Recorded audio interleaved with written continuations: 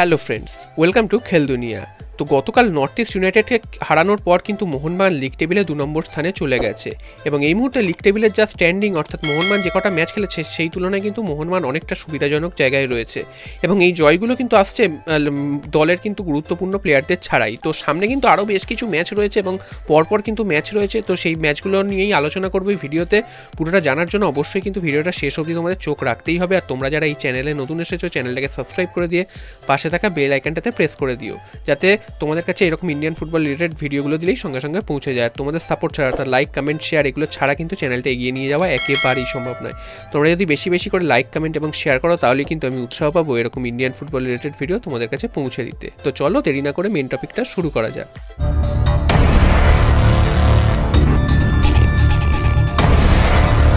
তো গতকাল তোমরা প্রত্যেকেই দেখেছ যে মোহনবাগান কিন্তু একটা অসাধারণ জয় তুলে নিয়েছে নর্থ ইস্ট ইউনাইটেডের বিরুদ্ধে এক শূন্য গোলে পিছিয়ে পড়ার পরেও। তো সেখানে কিন্তু মোহনমান তিন এক গোলে জয়লাভ করেছে, ঠিকই মোহনমান কিন্তু জিততে পারতো একাধিক গোলে এবং একাধিক গোলের সুযোগ কিন্তু মোহনমান নষ্ট করেছে। তা না হলে কিন্তু মোহনমান কালকের কিন্তু সাত থেকে আট গোল দেওয়া উচিত ছিল। উল্টো থেকে নর্থ ইস্টও কিন্তু মোহনমান ডিফেন্সে কিন্তু অনেকবার হানা দিয়েছে, গোলের সুযোগ তৈরি করেছে। তো একবার পরাস্ত হয়েছে, তারপরে কিন্তু আর মোহনমানের ডিফেন্স পরাস্ত হয়নি এবং কোনোভাবে সেগুলোকে সামাল দিয়ে দিয়েছে। তো এই অবধি ঠিকই রয়েছে, তো সব থেকে বড় কথা মোহনমান যে এই জয়টা পেয়েছে নর্থ ইস্ট ইউনাইটেড লিগ টেবিলের কিন্তু একেবারে শেষের টিম তো সেখানে সেই দিক থেকে ফিচার করলে এই জয়টা কিন্তু একদম মানে প্রত্যাশিতই ছিল, কিন্তু মোহনমানের কিন্তু ম্যাক্সিমাম যে স্টার প্লেয়ার তারাই কিন্তু দলে ছিল না। তো চারজন ফরেনার কিন্তু মোহনমান কালকের খেলায়নি দুজন ফরেনারকে নিয়ে মোহনমান শুরু করেছে, তারপরে কিন্তু আবার একজনকে তুলেও নিয়েছিল। অর্থাৎ একজন ফরেনার কিন্তু পুরো নাইনটি মিনিটস খেলেছে। তো এটা কিন্তু মোহনমানের জন্য দারুণ একটা খবর এবং দেশীয় যে প্লেয়ার তাদের মধ্যেও বেশ কিছু প্লেয়ারের চোট রয়েছে। তো এতজন স্টার প্লেয়ার এবং এতজন ভালো ভালো খেলোয়াড়কে ছেড়ে মোহনমান যে এই জয়টা পাচ্ছে, অর্থাৎ মোহনমানের রিজার্ভ বেঞ্চ কতটা শক্তিশালী সেটাই কিন্তু প্রমাণ করছে। তো মোহনমানের কিন্তু সামনে আরও বেশ কিছু গুরুত্বপূর্ণ ম্যাচ রয়েছে, যেমন পরশুদিনই রয়েছে এফসি গোয়ার বিরুদ্ধে, তারপর কিন্তু কেরালা ব্লাস্টার্স তো এরকম বিভিন্ন ম্যাচগুলো রয়েছে বেঙ্গালুরু এফসি রয়েছে, তো এদের বিরুদ্ধে কিন্তু মোহনমানকে খেলতে হবে। তো নর্থ ইস্ট ইউনাইটেডের বিরুদ্ধে যতটা সহজে জয় পেয়েছে, ততটা কিন্তু সহজ হবে না এই দলগুলোর বিরুদ্ধে এবং সেখানেও যদি হুগো বুমোস বা কার্ল মেকিউ বা রয় কৃষ্ণা এদের মতন প্লেয়াররা না থাকেন, তাহলে কিন্তু মোহনবাগানকে সমস্যায় পড়তে হতে পারে। তবে মোহনমানের লিস্টান কোলাসো এবং মনভীর সিং, বিশেষ করে লিস্টান কোলাসো, তিনি যে ফর্মে রয়েছেন, সেই ফর্মে যদি থাকেন তো কোনো বিদেশিরই প্রয়োজন হবে না। তো সুনীল ছেত্রীর মানে আগামী যে, আগামী সুনীল ছেত্রীকে কিন্তু আমরা পেয়ে গেছি বলাই যায়, যদি লিস্টান কোলাসো এই ফর্মটা তিনি ধরে রাখতে পারেন। এবার লিস্টান কোলাসোর এই প্র্যাকটিস বা যেভাবে তিনি চলছেন, সেটা যদি তিনি ধরে রাখতে পারেন, তাহলে কিন্তু তিনি পরবর্তী ইন্ডিয়ার স্টার স্ট্রাইকার হয়ে যাবেন। তো লিস্টান কোলাসো গত বছর কিন্তু হায়দ্রাবাদ এফসির হয়ে দুর্দান্ত ফুটবল খেলেছেন, তবে গোল সংখ্যা বা অ্যাসিস্টের সংখ্যাটা কিন্তু কম ছিল। গতবার তিনটে গোল করেছিলেন, একটা অ্যাসিস্ট করেছিলেন, সেখানে কিন্তু এখন এই মুহূর্তে দাঁড়িয়ে তিনি সাতখানা গোল করে ফেলেছেন এবং তার সাথে সাথে অ্যাসিস্টও রয়েছে তার নামের পাশে। তো লিস্টান কোলাসও কিন্তু একদম তুখর ফর্মে রয়েছে এবং তার সামনে যে টিমই পড়ছে, তারা কিন্তু তাকে আটকাতে পারছে না। তো এই প্লেয়ার যদি মোহনমানের স্ট্রাইকিং লাইন আপে থাকে, তাহলে কিন্তু মোহনমান কিন্তু রয় কৃষ্ণ বা ডেভিড উইলিয়ামস এদের মতন প্লেয়ারকে ছাড়াই কিন্তু মোহনমান অনায়াসে জয় তুলে নিতে পারবে। এবং লিস্টান কোলাসও কিন্তু হায়দ্রাবাদ এফসি ম্যাচে অসংখ্য সুযোগ নষ্ট করেছেন, ফাঁকা গোলে মারতে পারেননি।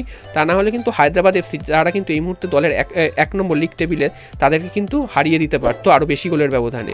তো সেটা হয়নি, হায়দ্রাবাদ এফসিকে হারানো গেছে, এটাই কিন্তু অনেক বড় ব্যাপার। কারণ হায়দ্রাবাদ কিন্তু এখন ষোলো ম্যাচ খেলে উনত্রিশ পয়েন্ট নিয়ে লিগ টেবিলের টপে রয়েছে তারপরে কিন্তু মোহনমান রয়েছে মোহনমান কিন্তু তাদের থেকে দুটো ম্যাচ কম খেলে রয়েছে। চোদ্দোটা ম্যাচে কিন্তু ছাব্বিশ পয়েন্ট নিয়ে তারা কিন্তু লিগ টেবিলে দু নম্বর স্থানে রয়েছে এবং তারপর কিন্তু জামশেদপুর এসসি রয়েছে। তারাও কিন্তু চোদ্দ ম্যাচ খেলে কিন্তু পঁচিশ পয়েন্ট নিয়ে লিগ টেবিলের তৃতীয় স্থানে রয়েছে।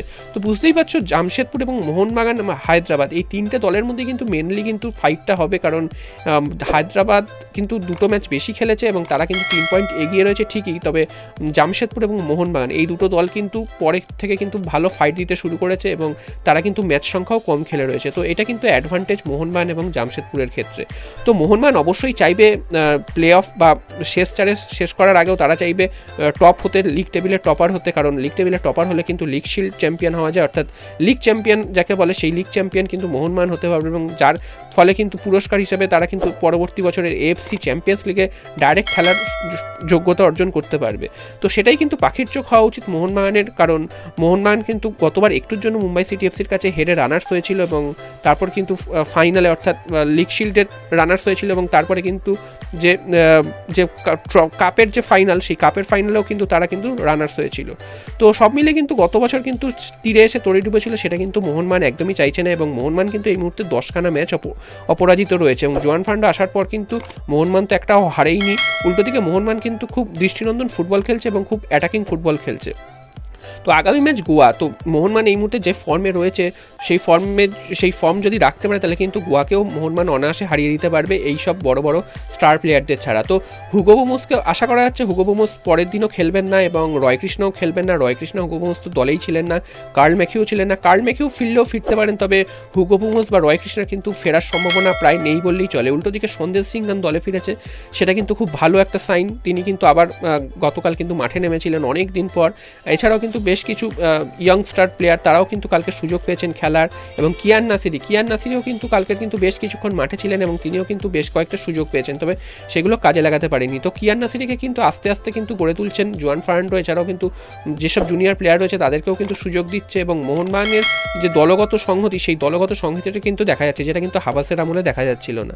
তো সেটা কিন্তু জুয়ান ফার্নান্ডো এসে মোহনবাগানের খোলন লোসটা বদলে দিয়েছে এবং মোহনবাগান যেমনি পাসিং ফুটবল খেলছে সাথে সাথে কিন্তু মোহনবাগান কিন্তু গোলের জন্য ঝাঁপাচ্ছে। তো এটা কিন্তু খুব দৃষ্টিনন্দন একটা ফুটবল হচ্ছে, যেটা হাবাস কিন্তু খেলাতেন না। হাবাস কিন্তু একটা গোল দিয়ে হয়তো তিনি ডিফেন্সিভ করাতেন বা কাউন্টার অ্যাটাক নির্ভর ফুটবল খেলাতেন। তার আমলে কিন্তু পাসিং ফুটবলটা একদমই দেখা যেত না এবং মিস পাস ভুল পাস এগুলো কিন্তু চলতেই থাকতো। সো সেইগুলো বন্ধ হয়েছে, তার জন্য কিন্তু জোয়ান ফান্ডোর কিন্তু কৃতিত্ব যাই।